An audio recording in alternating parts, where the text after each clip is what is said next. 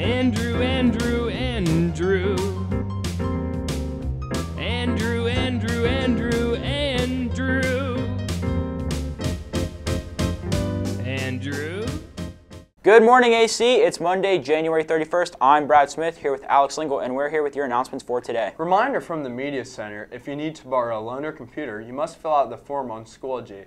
If your computer is already dead, ask a friend or your teacher to fill it out for you.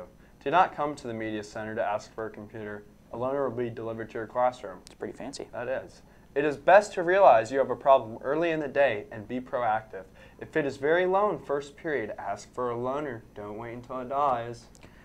The Lost and Found is located in the nurse's office. If you have lost anything throughout the first half of the school year, please stop by the nurse's office before or after school to check for your items. Any items still left in the Lost and Found after February 8th will be donated to charity.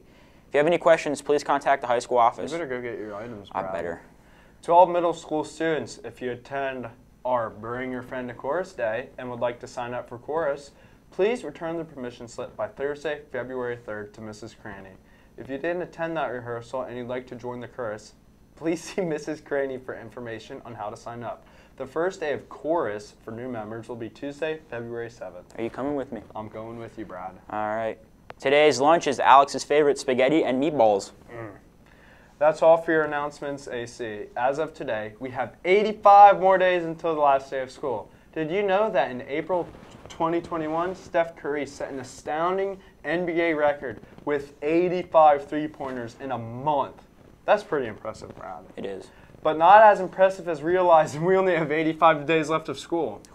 Have a good day, AC. And here's your joke of day, courtesy of Mr. Krause. So hey, what'd the cop say to his belly button? You're under a vest.